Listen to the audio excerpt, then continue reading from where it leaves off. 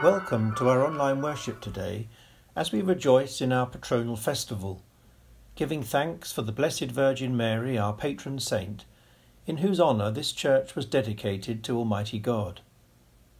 In readings, prayers, hymns, and music, we acknowledge Mary as the Mother of our Lord, as we give thanks for and remember all who have worshipped in this church of St Mary Merton. In the words of the preface, we give thanks to God because in choosing the Blessed Virgin Mary to be the mother of his Son, he has exalted the humble and meek. The Archangel Gabriel hailed her as most highly favoured, and with all generations we call her blessed, and with her rejoice and magnify God's holy name. So let us now begin our worship as we listen to the familiar words of the motet Ave Maria composed by Franz Biebl, a setting of part of the Latin Angelus, and sung from the Cistercian Dore Abbey in Herefordshire, also like us, now a parish church, dedicated in honour of the Blessed Virgin Mary.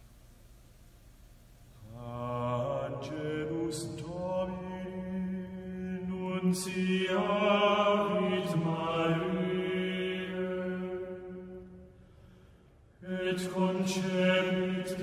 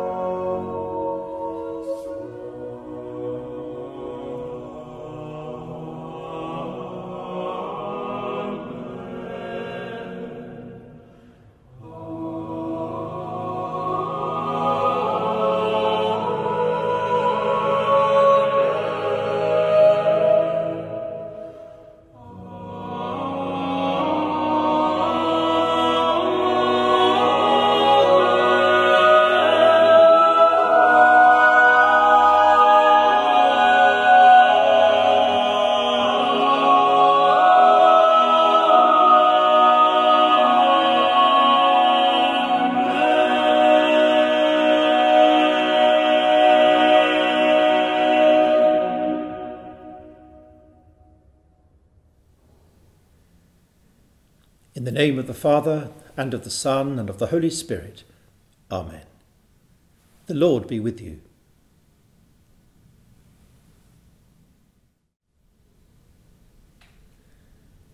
Almighty God, to whom all hearts are open, all desires known, and from whom no secrets are hidden, cleanse the thoughts of our hearts by the inspiration of your Holy Spirit, that we may perfectly love you and worthily magnify your holy name through Christ our Lord. Amen. As we prepare ourselves to celebrate these sacred mysteries, let us first call to mind and confess our sins.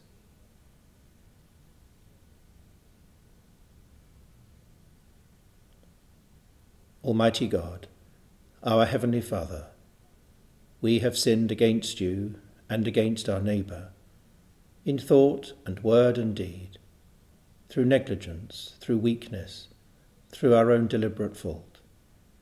We are truly sorry and repent of all our sins.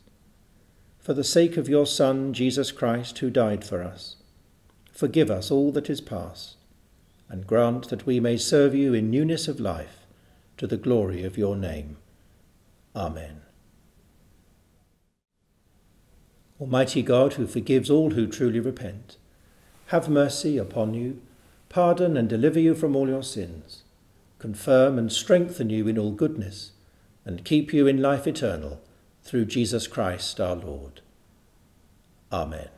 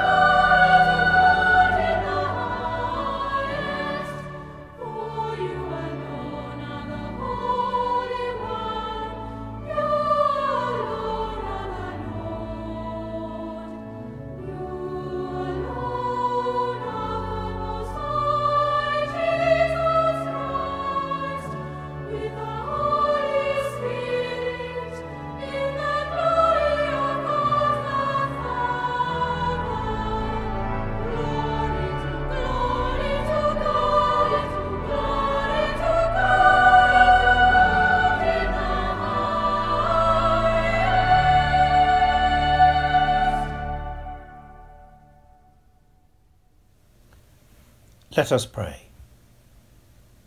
Almighty and everlasting God, who stooped to raise fallen humanity through the childbearing of Blessed Mary, grant that we who have seen your glory revealed in our human nature, and your love made perfect in our weakness, may daily be renewed in your image, and conformed to the pattern of your Son, Jesus Christ our Lord who is alive and reigns with you in the unity of the Holy Spirit, one God, now and for ever. Amen. A reading from the letter of Paul to the Galatians, chapter 4, beginning at the fourth verse. But when the fullness of time had come, God sent his Son, born of a woman, born under the law in order to redeem those who were under the law, so that we might receive adoption as children. And because you are children, God has sent the Spirit of His Son into our hearts, crying, Abba, Father. So you are no longer a slave, but a child, and if a child, then also an heir through God. This is the word of the Lord. Thanks be to God.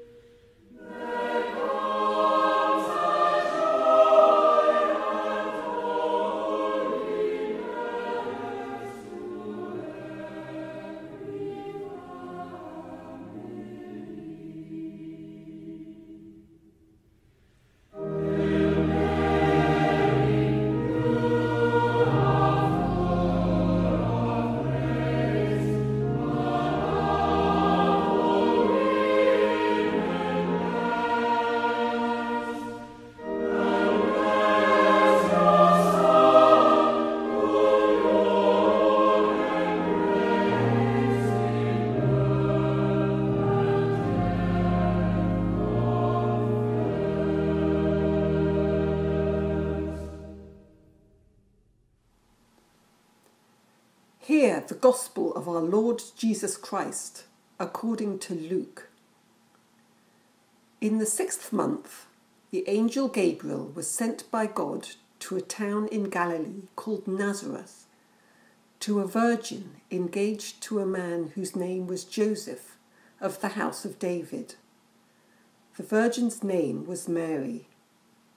And he came to her and said, Greetings, favoured one, the Lord is with you. But she was much perplexed by his words and pondered what sort of greeting this might be. The angel said to her, Do not be afraid, Mary, for you have found favour with God. And now you will conceive in your womb and bear a son, and you will name him Jesus. He will be great and will be called the Son of the Most High, and the Lord God will give to him the throne of his ancestor David. He will reign over the house of Jacob forever, and of his kingdom there will be no end. Mary said to the angel, How can this be, since I am a virgin? The angel said to her, The Holy Spirit will come upon you, and the power of the Most High will overshadow you. Therefore, the child to be born will be holy. He will be called Son of God. And now your relative Elizabeth, in her old age, has also conceived a son, and this is the sixth month for her who was said to be barren. For nothing will be impossible with God. Then Mary said, Here am I, the servant of the Lord. let it be with me according to your word. Then the angel departed from her. This is the gospel of the Lord. Praise to you, O Christ. Today we hail our patron saint, Mary, the Mother of Jesus, Our Lady, Queen of Heaven, the God Bearer, the Blessed Virgin Mary, all titles attributed to our patron saint, whose birth we celebrate this weekend. Depicted in a number of our stained glass windows, an article about which you might like to look up if you still have a copy of the Autumn Parish Matters magazine from 2018. Our current issue has just been published online on our website this weekend, so you can consult there, download, and print if you wish. With thanks to the editorial and design team for putting that together for us. And we sincerely hope to be able to deliver hard printed copies next time round. The series of windows in our south aisle, designed by Burne Jones, in the three most westerly windows, are really quite exquisite and the last one, depicting St. John and the Blessed Virgin Mary, were actually designed by William Morris's pupil, John Henry Dearle. He went on to develop his own distinctive work of wallpaper and fabric designs with a Persian and Turkish influence. The images of the saints in churches, however, are not just, of course, the equivalent of ecclesiastical wallpaper there just to fill a gap and add a bit of colour. They tell a story. In fact, a series of interlocking stories that make up the Judaic Christian tradition of our salvation. If we read the opening verses of St. Matthew's Gospel, we can trace our collective ancestry back to the mythology of Adam and Eve in the Garden of Eden. The westerly windows of the south aisle beginning with the Old Testament figures of Moses and Abraham, moving on to Moses and King David. They remind us of the Judaic formation of our Lord from his infancy, and which he embraced as a man on earth. His mission being to deal with the perennial problem of human alienation from God and one another, which the Old Temple sacrifices were designed to address and what of old they and the Church loved to call sin, but perhaps alienation is a better word. Those temples were built to remedy the chasm between God and his people. And when eventually Jerusalem was first sacked and burned, the glorious temple of the house of King David fell in ruins, and eventually the sacrificial system followed suit. But out of those ashes, God's only Son was raised, to be a Saviour, traced back through the Davidic line, through Joseph, but born of Mary, who became the temporary dwelling place of the living God. Her womb became the new temple, a human shrine for Christ and the Holy Spirit. St. Paul, also depicted in one of the windows, writes in his epistles from one of which we heard in our first reading that all under the old law are redeemed to receive adoption as sons and daughters of God. And if adopted, then we become heirs also. And for this faith St. Paul travelled the Mediterranean world, and for which the saint in the adjacent window, St. Stephen, gave his life as the first Christian martyr. And that new life offered to us in Christ is a gift brought to the world through the willing cooperation of Mary, our patron saint, his blessed mother. Her gift to the universe to give birth to the Saviour of the world. So today we offer up thanks for the birth of Mary herself, which began the story of the Incarnation, the eternal Word made flesh in our midst on earth as she nurtured her son through life and witnessed his first miracle at the wedding feast in Cana. And at the end of his earthly life, as she gazes upon him on the cross, both are united in an agony so acute that it pierced his side and her heart also with a pain sharper than any sword of St. Paul. Then his hour had come. And as he was lifted up upon the cross, he drew the whole world to himself by his loving sacrifice. Then, taken down from the cross, his lifeless body is cradled once again in Mary's arms, and the tomb was prepared to hold him. But just as Mary's womb, 33 years earlier, became the shrine of God, and could not naturally contain him beyond her nine months' pregnancy, so when he was laid in the tomb, its stronghold could not contain him either. For Christ burst his three day prison and changed the course of history by his resurrection. There is the tradition that Mary went to live in Turkey in the closing days of her life with St. John, the beloved disciple, to a house in Ephesus. Whether that's true or not, no grave, no tomb has ever been claimed for Mary. Her death, or as the Orthodox call it, her dormition, or falling asleep, and subsequent life in heaven, is as shrouded in holy mystery as was the conception of her son nine months before Christmas. Her close proximity to her Son in heaven, though, is a belief felt very deeply in many quarters of Christendom. A necessary prerequisite to the story of our salvation is the humble acceptance of Mary's vocation, as brought to her by the message from the Archangel, and why we hail our patron saint today and fall down in worship before her Son. We celebrate this feast lest we forget that the Church itself is called to nurture new Christians and strengthen one another in the faith. We all have a part to play in that, and like Mary, respond with the same sentiment Be it unto me according to thy word. For together we now are the body of Christ on earth. You and I and all Christian people who are the Church, we become the place wherein the Holy Spirit now has a dwelling. May this patronal feast day, then, help reconnect us to the essentials of our faith, helping us to alleviate the alienation from God that can creep into our lives. We can resolve to more regularly connect, not separate ourselves from the Christian Church and its local community, and embrace both with a generous spirit and warmth of heart, as Mary embraced her vocation, nurturing the Saviour of the world for us and for our salvation. Amen.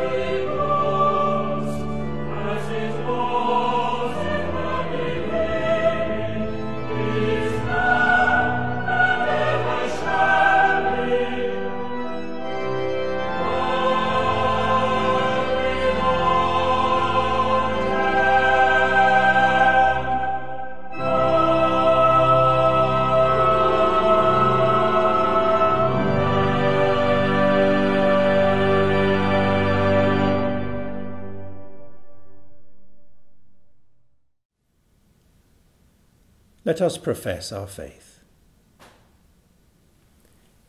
We believe in one God, the Father, the Almighty, maker of heaven and earth, of all that is seen and unseen.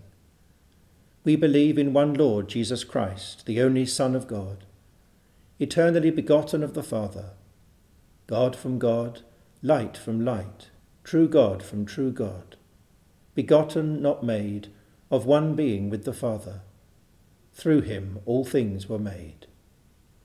For us and for our salvation he came down from heaven, was incarnate from the Holy Spirit and the Virgin Mary, and was made man.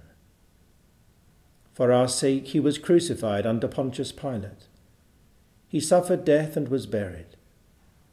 On the third day he rose again in accordance with the Scriptures.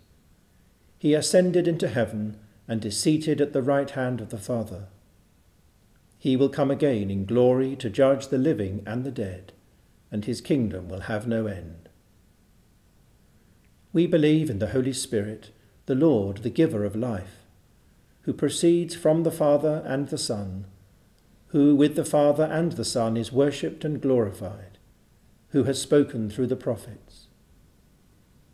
We believe in one holy Catholic and Apostolic Church we acknowledge one baptism for the forgiveness of sins. We look for the resurrection of the dead and the life of the world to come. Amen. Let us pray. On this day of our patronal festival, as we commemorate the birth of the Mother of our Lord, we thank you for the grace of humility and the spirit of loving kind obedience shown us in her life. May we, like her, always be responsive to your word and submissive to your will, that we may serve you with compassionate hearts and pure minds. We give thanks for all who serve you in any kind of ministry, both ordained and lay, praying particularly for our bishops, Christopher and Richard, our priests John and Judith, and all the many others here at St Mary's who, paid or voluntarily, give of their time and talents for the benefit of others. Lord, in your mercy, hear our prayer. Creator God, we give thanks for your creation, for the beauty of the world around us, for the wonder of space.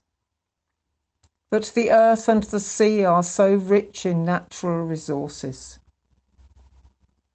We frequently fail to use them responsibly. Help us to use all your gifts wisely and faithfully for the benefit of all, being more mindful of what is wasteful or does harm to the environment that our legacy will be to hand on to the next generation an earth which has been protected and is respected. Lord, in your mercy, hear our prayer. We pray for the world in considerable turmoil because of the pandemic. Especially, we pray for all worldwide in the medical field with particular focus on those researching a vaccine. For those who work in the field of finance, needing to find ways to strengthen economies again and bring unemployment down. For all who live in countries where poverty and lack of resources prevail, who now have the added disaster of COVID 19 to address. Lord, in your mercy, hear our prayer. We pray for our local community, for those who hold office in the life of this borough, and for all who in various ways serve the community. May they wisely and faithfully exercise the authority committed to them. Lord, in your mercy, hear our prayer. Merciful Lord, be with those whose lives are weary and whose burdens are heavy. Give them hope and the knowledge of your love enfolding them. We remember too the sick on our intercession list and all who care for them. Bring healing and comfort, we pray. Lord, in your mercy, hear our prayer. Lord, you promised to go and prepare a place for us and return to take us with you. We pray for anyone we know who has recently died, that they can now see you face to face, and we pray for those who mourn. Rest eternal grant unto them, O Lord, and let perpetual light shine upon them. Merciful Lord, accept these prayers for the sake of your Son, our Saviour Jesus Christ. Amen.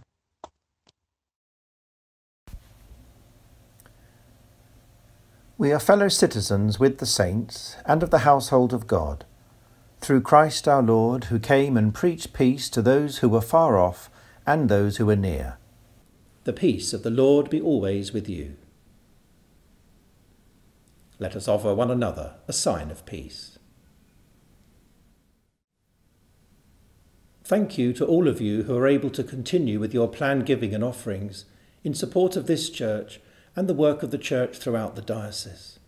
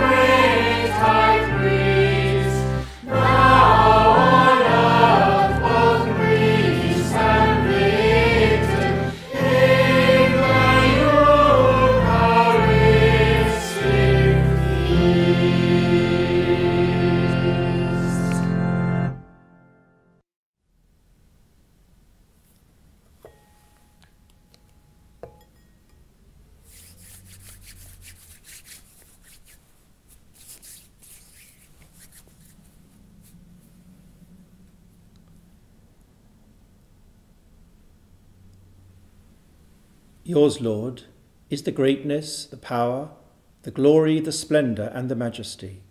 For everything in heaven and on earth is yours. All things come from you, and of your own do we give you. The Lord be with you. Lift up your hearts. Let us give thanks to the Lord our God.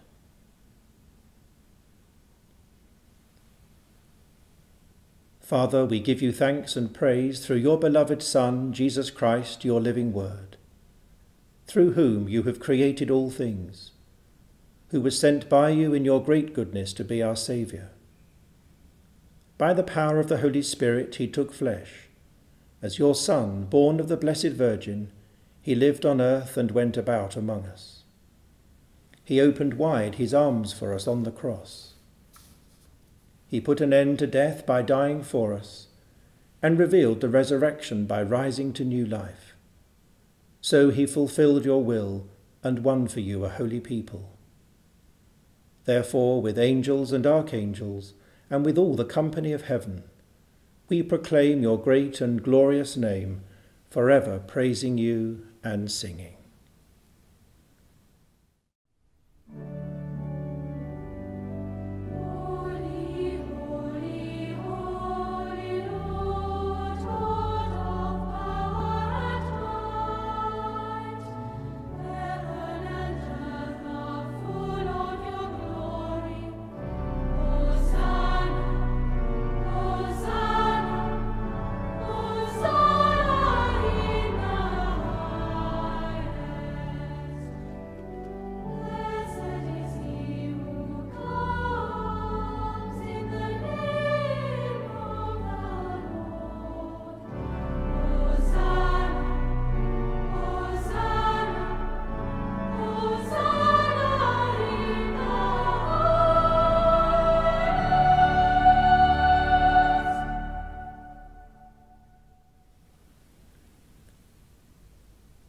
Lord, you are holy indeed, the source of all holiness.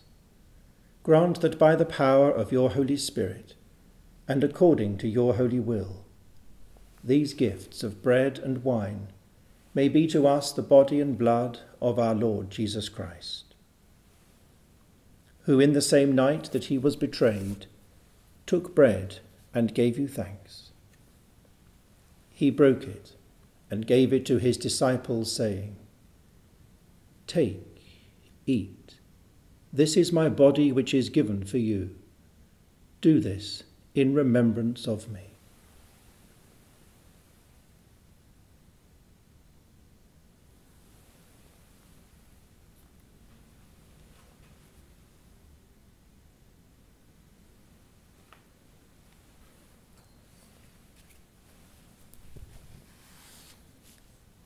In the same way, after supper, he took the cup and gave you thanks. He gave it to them, saying, Drink this, all of you. This is my blood of the new covenant, which is shed for you and for many for the forgiveness of sins. Do this as often as you drink it, in remembrance of me.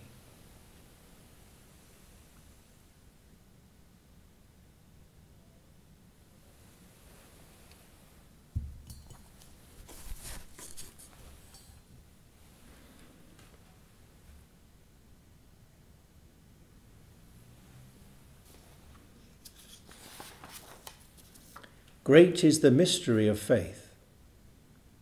Christ has died, Christ is risen, Christ will come again.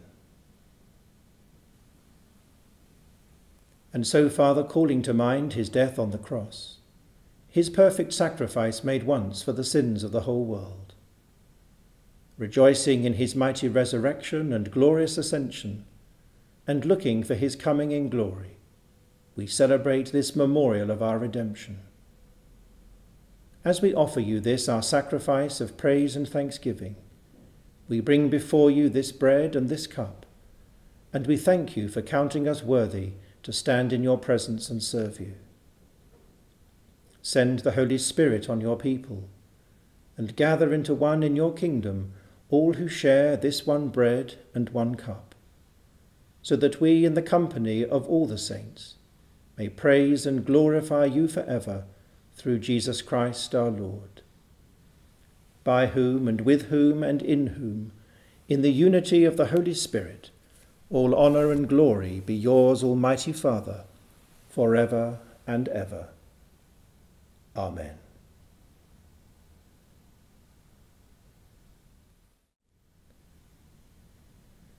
As our Saviour taught us, so we pray. Our Father in heaven, hallowed be your name. Your kingdom come, your will be done, on earth as in heaven. Give us today our daily bread. Forgive us our sins, as we forgive those who sin against us. Lead us not into temptation, but deliver us from evil. For the kingdom, the power, and the glory are yours, now and for ever. Amen.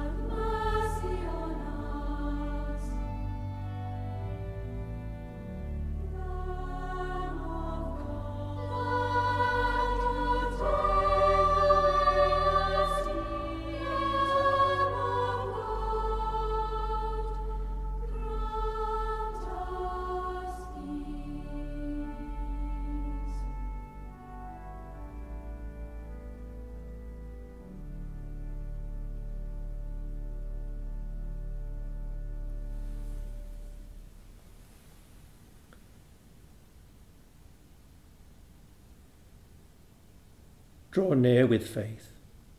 Receive the body of our Lord Jesus Christ, which he gave for you, and his blood, which he shed for you. Eat and drink in remembrance that he died for you, and feed on him in your hearts by faith with thanksgiving.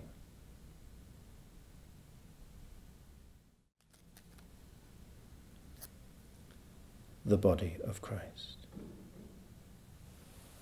Amen.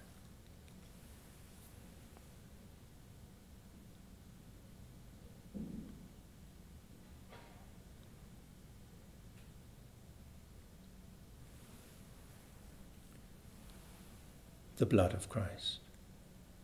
Amen.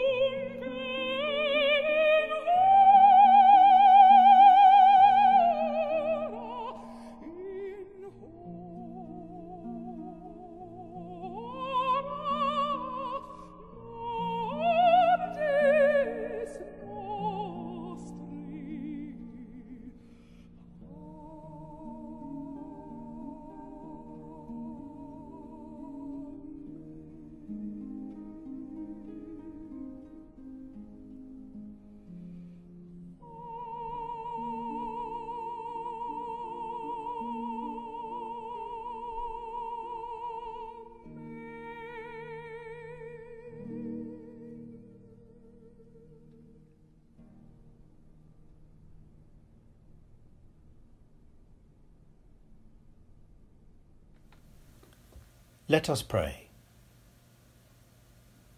O God Most High, whose handmaid bore the Word made flesh, we thank you that in this sacrament of our redemption you visit us with your Holy Spirit and overshadow us by your power. Strengthen us to walk with Mary the joyful path of obedience, and so to bring forth the fruits of holiness through Jesus Christ our Lord. Amen.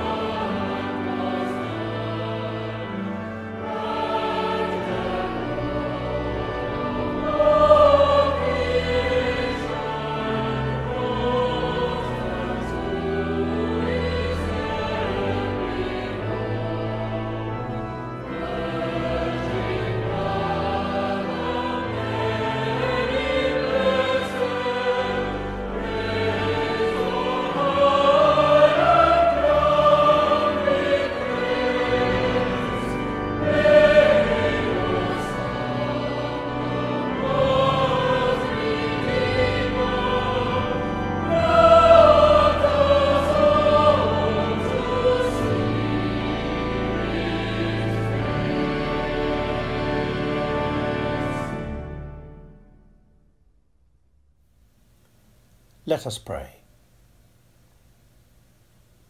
May the love of the Holy Family surround you. May the joy that was Mary's refresh you. May the faithfulness that was Joseph's encourage you. May the peace of the Christ child fill your lives. And the blessing of God Almighty, the Father, the Son, and the Holy Spirit be among you and remain with you always. Amen. Go in peace to love and serve the Lord. In the name of Christ. Amen.